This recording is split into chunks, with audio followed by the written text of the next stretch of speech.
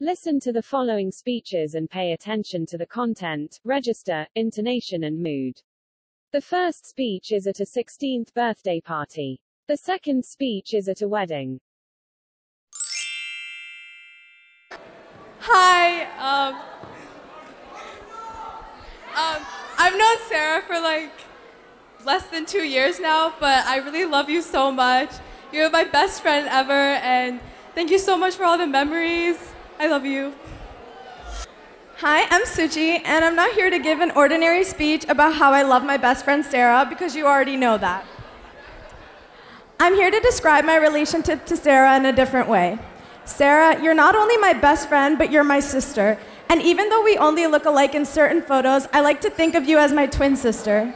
Friends are the people you go to the mall with and talk about gossip and boys with and have slumber parties, but Sarah and I take this to a new level.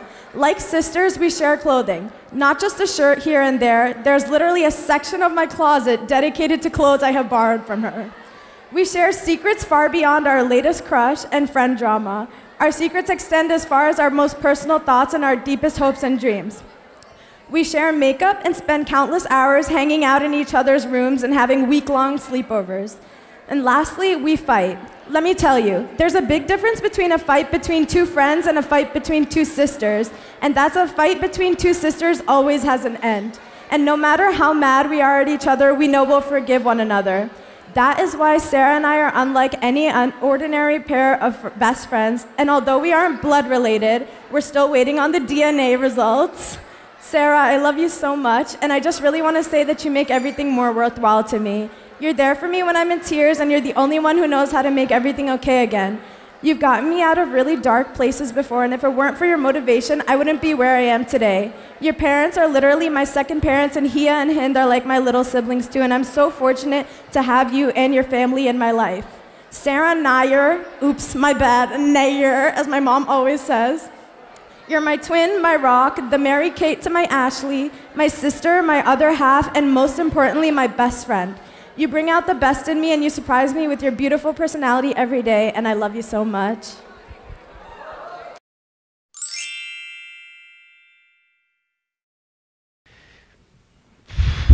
This is going to be tough. Um, my sister means a lot to me.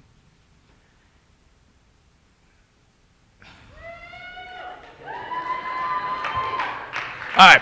First thing, first things first, I need to thank my parents because they instilled in me and Liz to have this amazing relationship that we have. And when Liz asked me to be um, her honor attendant, it really meant the world to me. And the first thing I started thinking about was when we were young, probably for the first six or eight weeks of a school year, when, which Liz started, I got called into the principal's office. And all my friends and all the people that were in my class used to think that I was a naughty kid, but it was just my sister being in the office and wanting to know that I was there and that she would see her parents when, when school was done and I remember just hugging her in the principal's office and telling her everything was going to be okay and that I'd be there for her. And now I, am looking at her, and she's a beautiful bride, so accomplished. And she works really hard. And she's worked really hard to become the woman that she is. And I couldn't be more proud of you I think anybody can be more proud of you than I am. And I constantly think about those days and I constantly think about our times together. And they're the best times of my life. And I hope that Sophia and Robbie have the same relationship that we do. Because you mean the world to me. You're so beautiful and I love you. And you know, we used to share the internet in my in my room, and uh, I'm gonna try to live uh, get get this a little bit another direction. But we used to we the internet was in my room. I was the older brother, And she, one time, was sitting there, and I remember this clear as day. And she said, um, "I said, what are you doing?" And she said, "Well, there's this guy that I like, and uh, I'm gonna take him to a Mets game. He's coming from Michigan." And so I laughed because I was like, "The Serranos don't take anyone that they like to a, a Mets game. We, we're Yankee fans. We bleed pinstripes. That's what we do."